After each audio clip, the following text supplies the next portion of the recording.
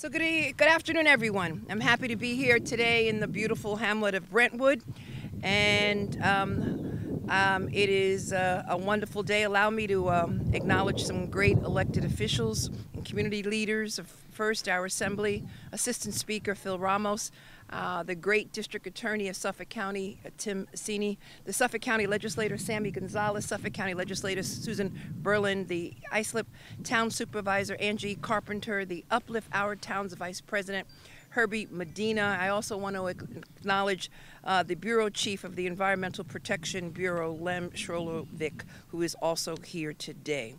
And I've also want to recognize uh, my Chief of Staff, Ibrahim Khan, who was raised here in Brentwood um, and obviously who cares about Brentwood as well. Um, so, far too often we see uh, pollution and other environmental issues plague towns like Brentwood. And these communities are subjected to higher levels of air pollution. They are sometimes forced to drink water that is contaminated, or in this case, it was this community's park that was the site of illegal and harmful waste dumping waste containing hazardous materials. This is not just an environmental issue, my friends, it's a, a health issue. It's also an issue of injustice, and quite simply, an issue of environmental racism. And it puts communities and children and our natural resources in harm's way. From the air that we breathe, to the water that we all enjoy, to the communities that we live in, we must address environmental injustice in all of its forms. And that is why I am so happy today and proud to announce that my office has secured $627,000 for the Brentwood community. From eight companies that were responsible for illegally dumping tens of thousands of contaminated waste here in this beautiful park, Roberto Clemente. And our work is far from over. You see, the funds from these agreements will be sub submitted to the court for final approval and will be used to make needed improvements to this park and others in the Brentwood area. And if you need a list of the other parks, we can provide them to you. But the largest site where most of the dumping occurred occurred right here. Um, and let me reiterate that this is subject to court approval. Um, we will work in partnership with local community groups, elected officials in the town of Islip to engage and have a conversation with community residents to identify their priorities for enhancing the beauty, the beauty and the functionality uh, of the parks. As someone who just used their restrooms, I think restrooms is their number one priority. And certainly, as someone who just used the restroom, I can relate and understand. It's important that those who were hurt by the loss of the park have a role in deciding how it can be improved. And the funds announced today make up the first uh, settlements that we've reached as part of the federal lawsuit that the Attorney General's office brought in 2017 against 33 construction contractors, waste brokers, and waste haulers that contributed to the dumping. Uh, this first group of agreements uh, includes six construction contractors who arranged for the disposal of the soil and debris that were contaminated with hazardous substances that originated in New York City uh, from in const at construction sites. And the names of those uh, construction contractors are as follows. Atria Builders, A-T-R-I-A, Atria. Monaco Construction, Alef Construction, A L E F Construction, 158 Franklin Avenue, LLC, Triton Construction Company, and Touchstone Homes.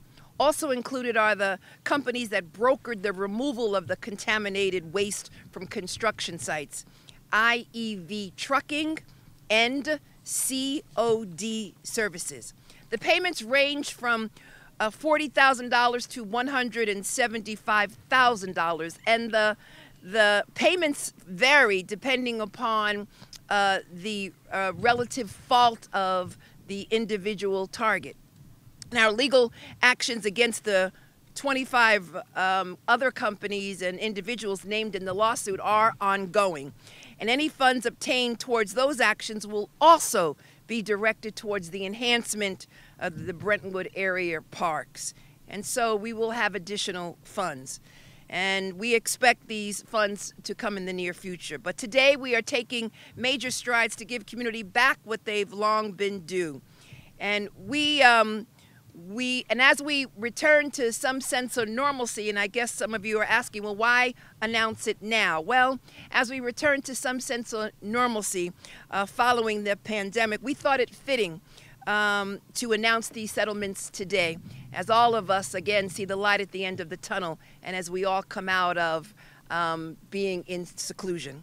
We are holding the companies accountable uh, for their role in polluting the park with hazardous materials, and we're holding them financially liable for the community's loss of the park during um, the three years it was closed for cleanup.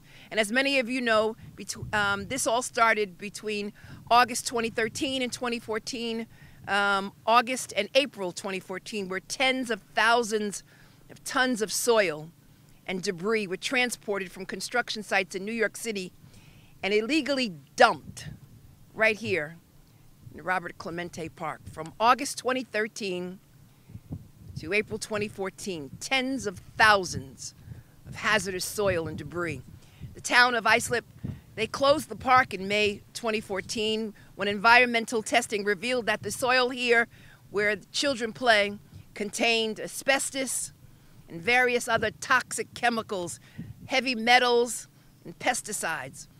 All chemicals and substances that are incredibly um, dangerous to children, to communities, and to uh, the natural resources. And the park remained closed until June 2017 as cleanup contractors removed uh, around 39,000 tons of hazardous construction waste. And in May 27th, the Attorney General's office, uh, my predecessor, he sued the contractors who arranged for the disposal of the contaminated soil and debris, along with companies that brokered the removal and disposal of the contaminated waste and the haulers that transported waste to this park and dumped it here. And I know that you might be asking, well, why did it take four years? Well, um, under the leadership of my leadership uh, as the Attorney General of the state of New York, it took us uh, four years because there were 33 respondents, defendants involved. And because of a case of this size, because of the litigation of this magnitude, um, involving so many respondents, it was very complicated and time consuming. But most importantly, uh, we wanted to ensure and maximize the amount of the settlements going to the community. And we were able to identify the companies um, in, by analyzing the GPS data from the trucks that the district attorney's office obtained. Now, as you know, the district attorney's office also engaged in a criminal prosecution of some of these respondents. And there is um, uh, some overlap, some overlap. Um, but we used their data and the data clearly showed that these trucks going in and out of this neighborhood, and, there, and that is why we were able to identify the companies. There is no excuse for the actions of these companies because of their negligence and their greed and their insensitivity. New Yorkers in and around Brentwood lost out on the recreational and, so, and social centerpiece of their community. And children need a safe place to play. Families uh, need a clean place to gather. Seniors need a place to walk. And natural resources were degraded unnecessarily and unjustly. Um, and simply, New Yorkers deserve access to safe, open spaces to enjoy all that their communities have to offer. As we continue with these actions and other initiatives aimed at advancing environmental justice throughout the state, I'm committed to ensuring that the communities most vulnerable uh, to this harm and who have historically borne its disproportionate burden of pollution are not left behind. Before I turn it over to our first speaker, I want to take a moment to recognize the hard-working members of the team who have been relentless in holding these companies accountable and protecting uh, this community. Assistant Attorney General Matthew Sinkman and Channing Wister Jones. Chief Environmental Scientist Anthony DeVarkis and Jody Feld. Environmental Scientist John Davis and Geographic Information System intern Gregory Welter, all under the supervision of Deputy Chief of the Environmental Protection Bureau Monica Wagner, which is led by Bureau Chief Lem Srolovic. Monica and Lem, are you here? Come on, Monica. Come on, Lem. Give them a round of applause. Thank you so much. And now, ladies and gentlemen, um, our first speaker is the Assistant Assembly Assistant Speaker, Assembly Member Phil Ramos.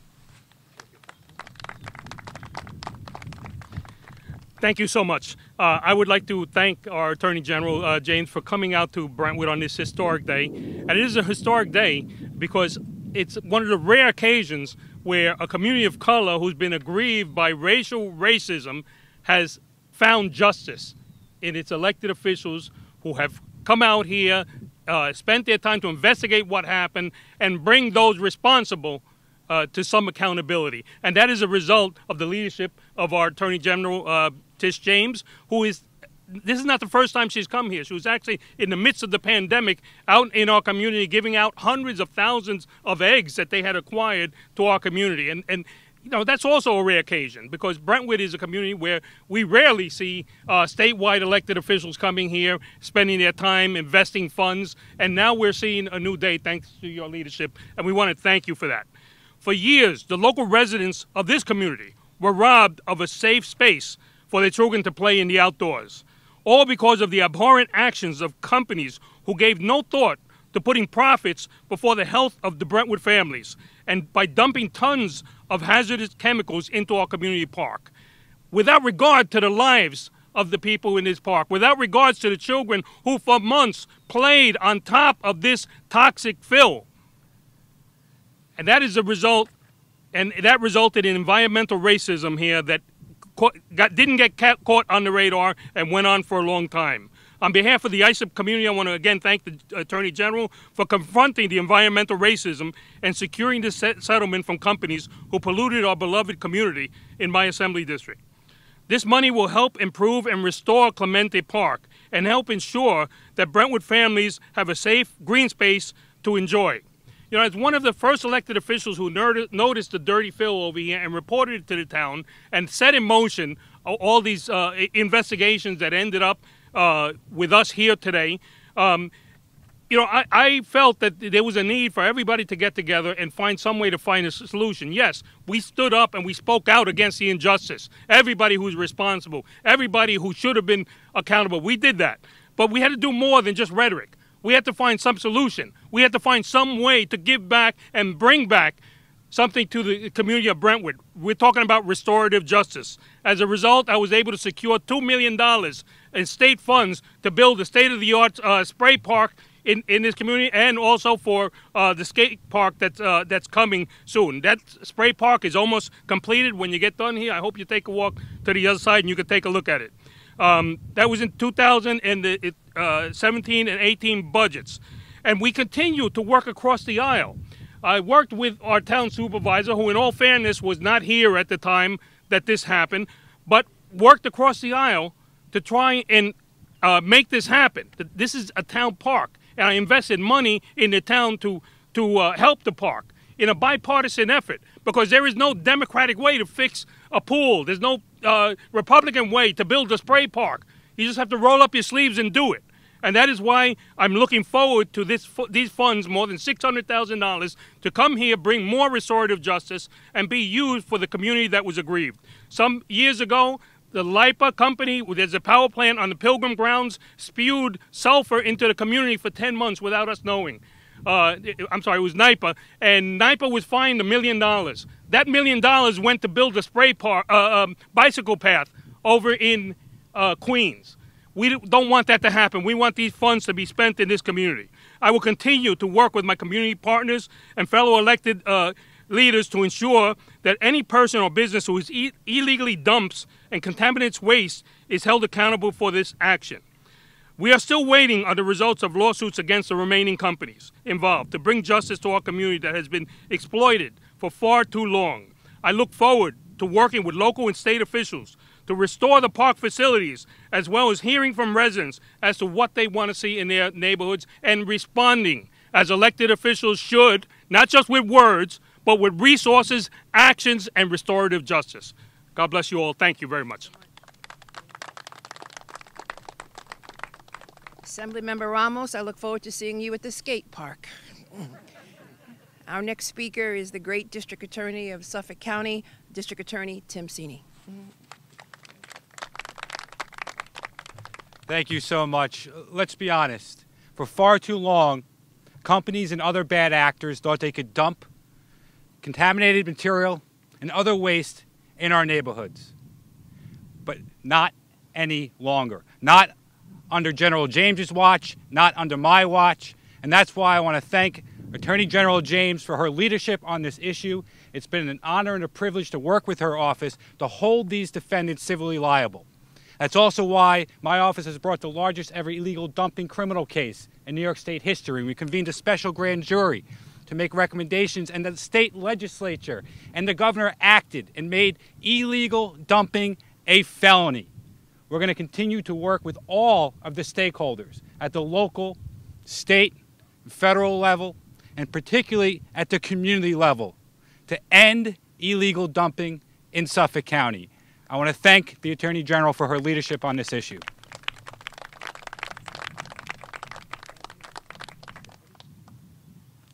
And our next speaker is Suffolk County Legislator, Le Legislator Sammy Gonzalez. Thank you very much uh, for inviting me here today. Um, I'm so proud to represent this community. But I remember like yesterday when the dumping was being done here at Roberto Clemente. Those houses that you see behind you and to your right, I live right there. My grandchildren played here. My children played basketball. And so when this occurred, it was very hard to believe it, very, very difficult. Um, we do still do not know the results of these children that were playing here, or even the adults that were playing here, but more the children. More the children because we will not find out if they have been affected for some years still. And so that still troubles me because, again, my grandchildren played uh, all along here. But here we are today. Fast forward. Thank you. Thank you Attorney General Tish James. Thank you. Mr. Sini, thank you so much for what you've done and the laws that they are instituting today, even at the state level. Because now they will hold accountable those individuals that put our children in harm's way. And we can't ever forget that. I also looking at the, the beauty of this park, the water park, our pools, and every day the repairs that are going on here. And my morning walks here every single morning reflect what the town of Islip has been doing here, the beautiful work, uh, so that we can continue to enjoy this park. This money that is coming here is of the importance it continues to pour here so that we can provide for our kids. I keep saying our children because my grandkids are my world.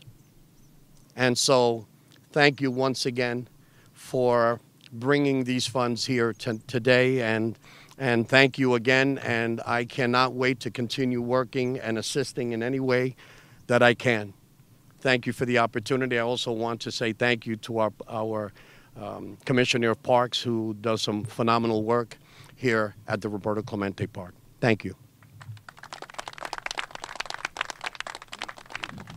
I pray the health of your children and your grandchildren and all the children of Islip and New York State and all across this country. Our next speaker is the Suffolk County Legislator, Ms. Susan Berland.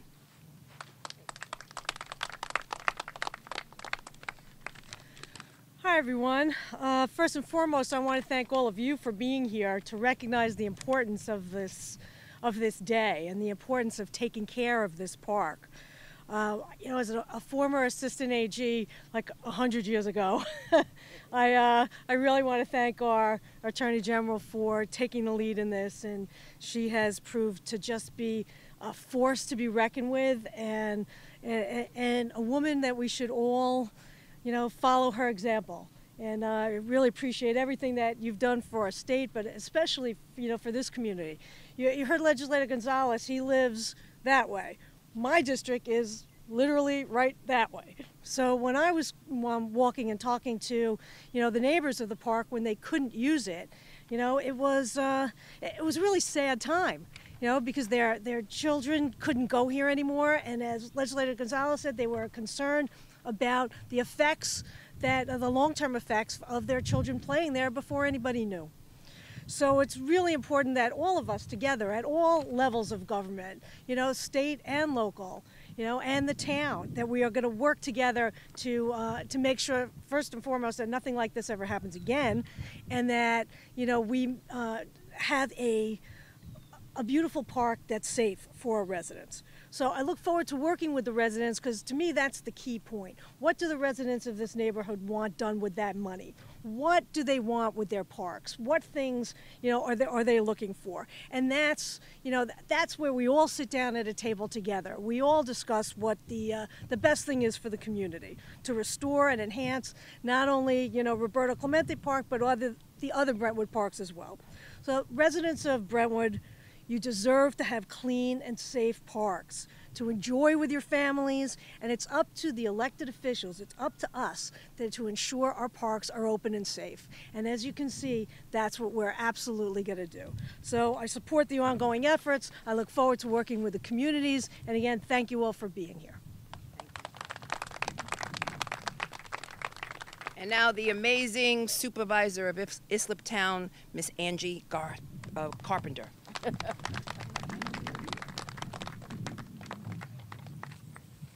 don't know about amazing, but we do have an amazing uh, Attorney General, and we're delighted that she's here.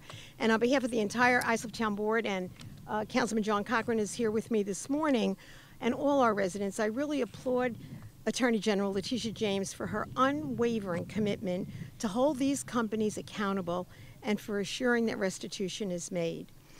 Although the illegal dumping happened before her tenure, before my tenure, she has been steadfast in her pledge to make the community whole.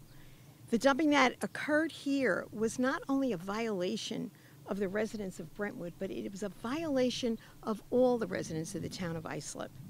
You know, some of you were here, and I, and I see Marianne Pfeiffer from Yes, the youth organization, and Manny Troach from the fire department the community came together, our Commissioner of Public Safety uh, and our Commissioner of Parks.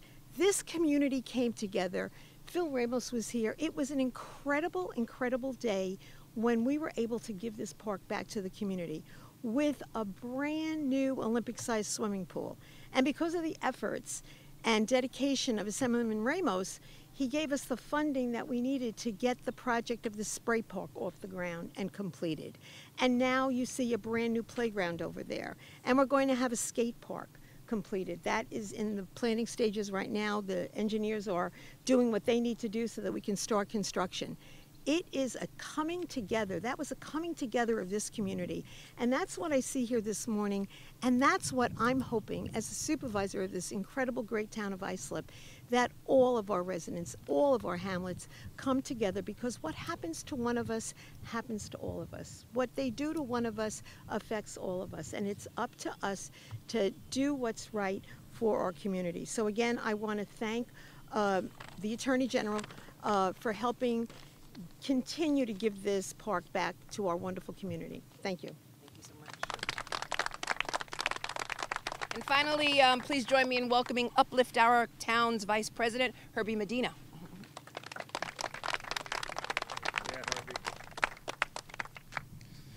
Good afternoon, everybody. It's great to be here with everybody um, this afternoon. Uh, my name is Herbie Medina. I'm uh, Vice President of Uplift Our Towns and co-founder. Uh, just a little background. I think it was 2016 where um, I had my two daughters post up a sign saying we want our park back in the front over there in Broadway, and you know, it's it's nice to see that the work that's being done with um, you know everybody together. This is you know uh, an effort, a collective effort upon everybody. You know, so I'm excited to see you know the work going forward and what it's going to look like later on when when the end result is here. Um, first, I want to I want to thank the Attorney General uh, for inviting us to this press conference to represent the community. Uh, five years ago, we we gathered. This is uh, we gathered at the entrance of this park's closed gates with friends, family, and na- neighbors. As frustrated community members and an upset father having to explain to his children why they didn't have a nice park to play in. It feels good to be making this announcement at the place where our organization first started. Uplift's Uplift was created by our community members coming together to demand our voices be heard regarding the reopening of Roberto Clemente Park. Fast forward to today, after countless hours of advocating for a better park and overall community, we're excited to be able to lead the future plans to enhance our park. The town has done a great job with the pools and the addition of the splash park, and we're looking forward to the addition of the skate park soon. We look forward to engaging our fellow community members as we come together to come up with a plan that will benefit our residents and bring welcome enhancements to our community park. Thank you.